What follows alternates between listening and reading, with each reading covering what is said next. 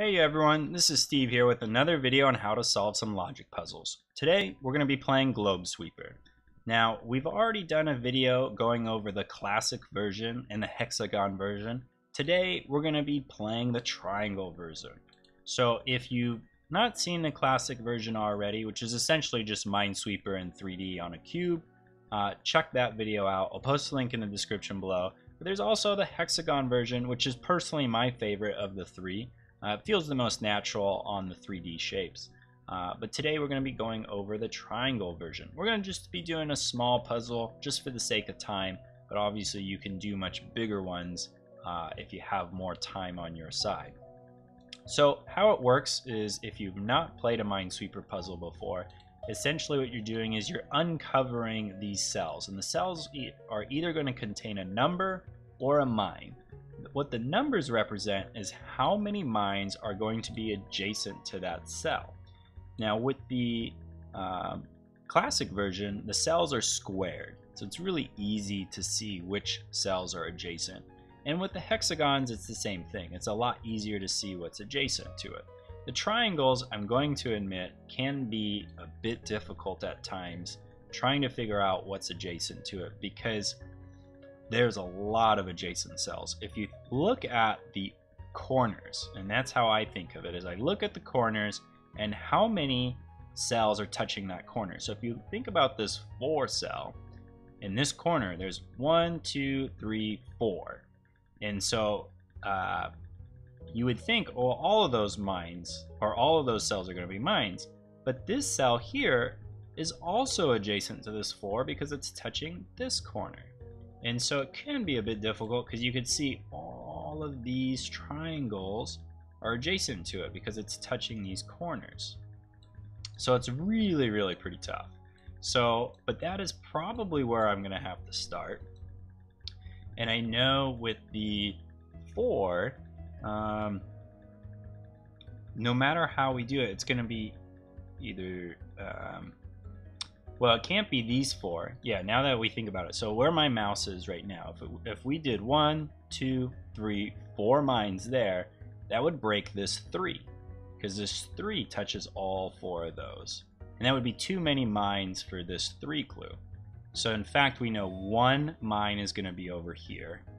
And three mines are going to be over here to solve this four. And if we're going to have three mines here to solve this four, then this 3 is going to be solved. And these cells here is not going to contain a mine. So you can see it's a little bit tougher than a regular Minesweeper. Uh, and I'll admit, out of the three, I do think the triangle puzzle is going to be the hardest one. Um, at least just because it just seems the least natural, uh, at least to me. And if you feel otherwise, let me know in the comments below. But I think a lot of people are going to agree with me on this one, that the triangle puzzle's the hardest. Now, if we look at this one clue, there's only one available cell that the mine can be in, so that must be it. Now, this one, we've uncovered where the mine is for this one, so all these other cells that are adjacent to this one is free. And again, remember, the cells adjacent, think of the, the corners of the triangle.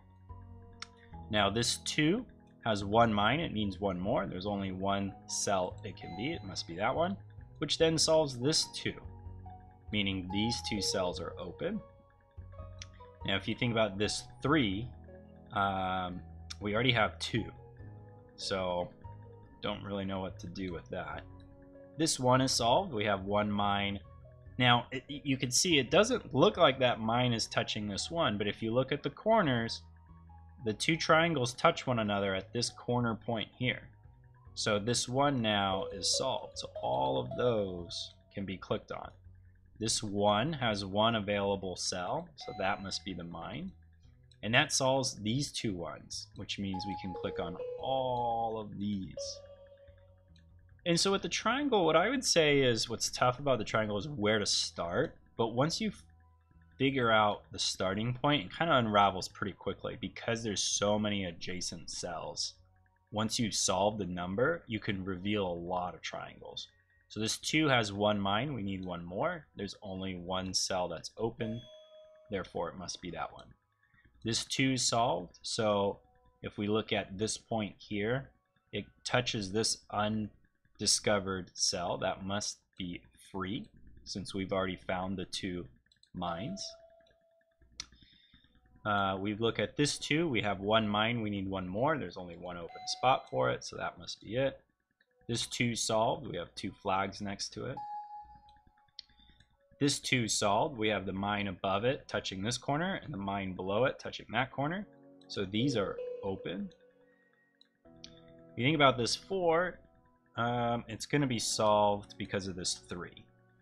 Yeah, the four, we, we don't know because it has one, two, three, four open spots and one, two mines discovered. So there's no way to figure out this four without looking at this three. This three has one, two mines.